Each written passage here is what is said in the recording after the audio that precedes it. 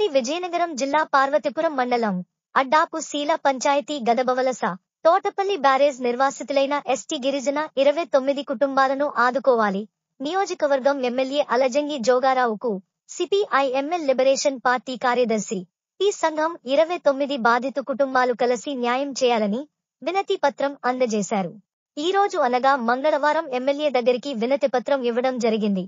MLA వెంటనే గిరిజనుల పట్ల సానుకూలంగా స్పందించి హౌసింగ్ ఏకి ఫోన్ చేసి హౌసింగ్ లోన్లు ఈ ఇరవై తొమ్మిది కుటుంబాలకు ఇప్పించమని చెప్పారు. అన్ని రకాలుగా గిరిజనులను ఆదుకుంటానని గిరిజనులకు హామీ ఇచ్చారు. గిరిజనులు సంతోషించారు. అలాగే అఖిల భారత వ్యవసాయ గ్రామీణ కార్మిక సంఘం జిల్లా కార్యదర్శి పి సంఘం సంతోషం వ్యక్తం చేశారు. కార్మిక సంఘం నా పేరు పి సంఘం జిల్లా కార్యదర్శి నా పేరు పి సంఘం పార్వతీపురం మంజం జిల్లా.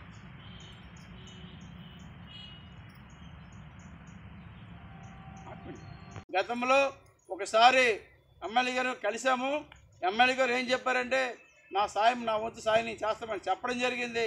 మరి అలాగే ఈరోజు కూడా మార్పు నియోజకవర్గ శాసనసభ్యులు గౌర్నీల పి అల్జింగ్ జోగరావు కూడా ఈరోజు వినపత్రం జరిగింది. ఎందుకంటే మరి ఈరోజు మాకు పక్క ఇల్లు కట్టించి ఇవ్వాలని వినపత్రం ఇచ్చాం.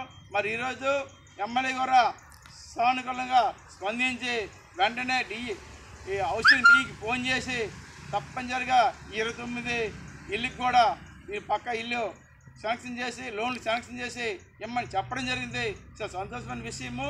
మరి ఈరోజు ఆ ఇల్లు స్థలాలు ప్రతి ఒక్కరు కూడా ఇల్లు స్థలాలు ఇచ్చి లోన్లు ఇచ్చి మేము కొడతామని హామీ ఇచ్చారు. చాలా సంతోష విషయము. మరి అలాగే ఈరోజు ఇక్కడ ఏవైతే గత కుటుంబాలు ఉన్నాయి అక్కడ డ్యాంలు ఉన్నాయి.